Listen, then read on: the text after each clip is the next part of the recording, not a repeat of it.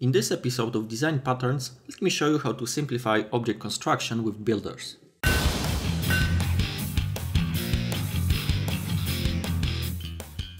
The builder pattern is very simple yet helpful. The whole idea is about moving the construction logic of given objects to a dedicated class called a builder. How exactly does this make construction easier? Well, that all depends on how complicated the construction is in the first place. Let's start with a simple example and work our way up. A textbook case of constructing a car from small parts. First, let's create our car class with some properties.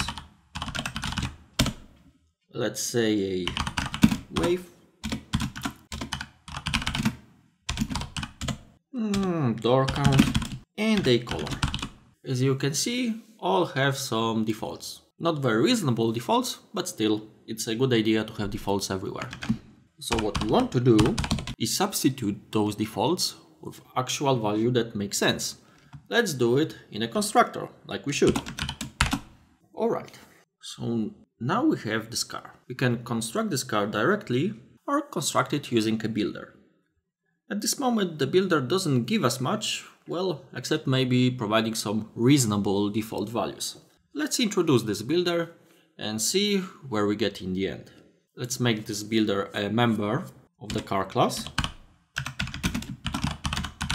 And the builder will contain all the properties the car contains, but with some, let's call it reasonable logical defaults.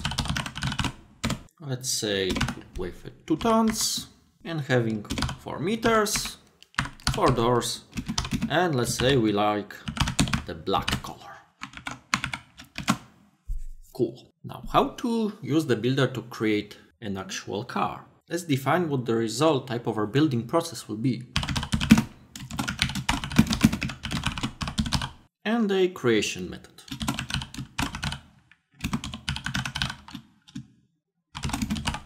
This method, for now, will simply create a new car passing all those properties contained inside. Cool. So what we want to do now is add methods for each property we want to override with a non-default. As a return type of all those methods, let's return the builder itself. This will allow us to chain calls and make a simple fluid interface. So set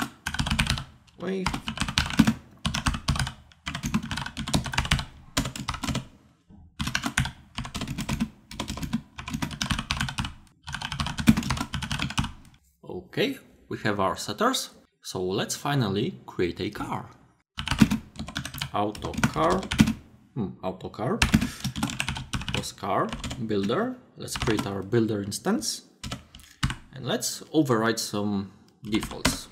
Color, ah, let's make it a blue car. Maybe having only two doors, because why not? And not so long, maybe 3.5 meters. In the end, create. So what we've done here is use our builder to create a small two-door blue car. Right now it might not seem like much, but we already can see one benefit of using a builder. You can see the builder can provide reasonable defaults and we not need to care ourselves with them. But is this enough to justify the overhead of using builders? As you can see, it's a lot of code added. As usual, it depends. By having builders, you keep the construction logic in one place rather than scatter it around. The advantages of builders become more apparent when the construction logic gets more complicated. Let's consider adding some parts to our car. And maybe introduce a car type and class. Type and let's call it family car and a sports car. And of course we need to add a type here and provide it with a default. So add a type here. For now, let's keep the create method like it is. Let's introduce some car parts. For example, a class representing an engine. This engine will have power with some unreasonable default because we want the default to be explicitly overridden in the constructor. Let's add an engine to our car. First, let's introduce an alias for it.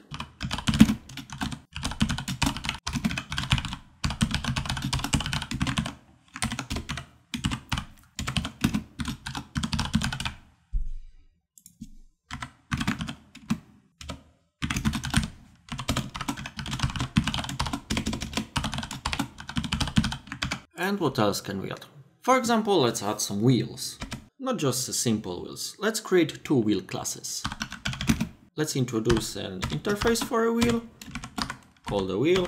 Hmm, for now, let's imagine that this interface has some abstract methods inside. And let's introduce concrete wheels. So a standard wheel or a standard tire would be a better name for it. Ah, let's go with wheels. For simplicity, let's keep those classes empty. And a heavy duty wheel. wheel. So let's make our car having an arbitrary number of wheels. Because you know, cars can have any wheels they want, right?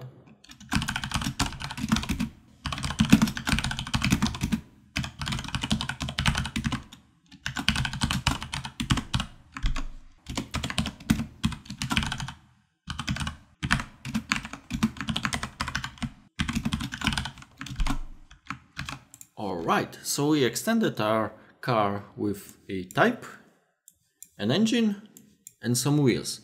Let's get back to our builder and add some properties and methods to it which will allow it to create a car just like we want. We don't want to explicitly specify what type of car it is. We would like the builder to figure it out for itself. So instead of specifying an engine class, let's give the builder simply engine power make it 100 horsepower. Very, very tiny car. And also let's give it wheel count. Four by default. Of course, all of this needs their own setter methods. Here we go. Now let's get back to our construction logic.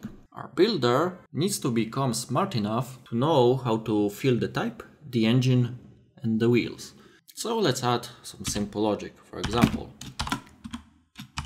if power is above 500 horsepower, well, let's assume we are dealing with a sports car.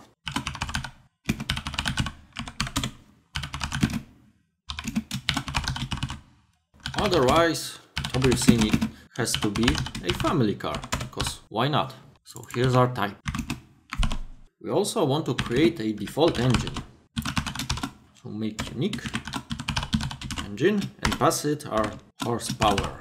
Now we come to wheels. Here the logic starts getting complicated. Could we have sports car with more than four wheels? Well, probably not. So let's assume we cannot have sports car with more than four wheels, but we know that more than four wheels needs their heavy duty. We also know sports car usually need some heavy duty wheels, otherwise they will fall off, right? Science. So let's complicate our construction logic a bit. Wheel collection, we move it to our car. And just to keep things more grounded in reality, let's add a truck type. Let's create a helper method which will return our wheels. Should be a template.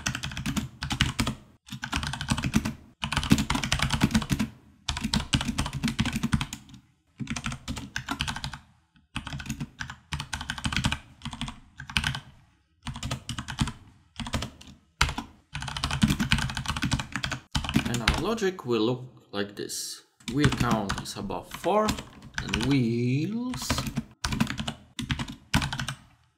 heavy duty wheel else standard wheel. Cool.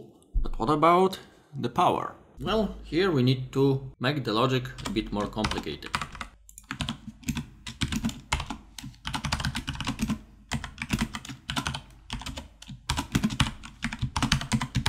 Okay, so let's see what's happening here. The type of our car and the type of our wheels are strictly dependent on the wheel count and its power. We never, in the application, explicitly say what type of the car we want or what type of wheels. We never explicitly even create the engine because it's not needed. All this logic is contained in one simple builder class. And to create a truck, we simply change the wheel count to, for example, 6. Do trucks have 6 wheels? Maybe. And let's set its power to, I don't know, 800 horsepower. Not know if trucks have this many, but eh, who cares. So now we have our blue two-door, ah, not so large, six-wheeled 800 horsepower truck. And all the logic to create such truck is here in this creation method, in the builder itself. This very simple example shows how a builder can become a single place for all your construction logic. The more complex this logic becomes, the more apparent the need for builder becomes. Things get even more interesting when the builder starts abstracting away different subclasses. For example, different subclasses of a car. Of course, as with everything. Consider all the pros and cons of builders before adding them to your code. They can add a lot of unneeded boilerplate and can themselves have a lot of dependencies. Just look at how many lines extra we got just by adding a simple builder. And also note that this logic can become a mess when you introduce large number of dependencies. In most complex scenarios, it might be a good idea to combine builders with abstract factories, which we already talked about. Okay, I hope I showed you how builders work, how can you use them, how can you encapsulate creation logic in uh, one simple class. Hope you found it informative. If you have any question, post them down below. Click like, click subscribe, and I'll see you in the next one. Peace.